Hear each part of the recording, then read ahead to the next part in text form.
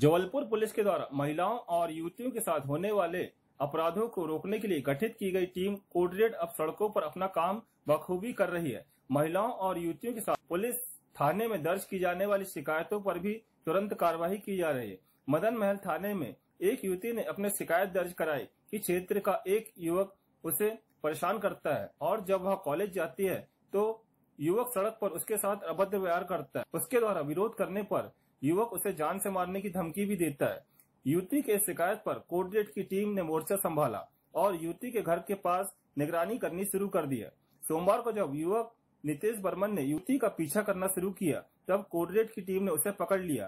पहले तो कोर्ट की टीम ने नितेश की सड़क पर ही जमकर पिटाई की और फिर मदन महल थाने लाया गया, जहाँ उसके खिलाफ कानूनी कार्रवाई की गई।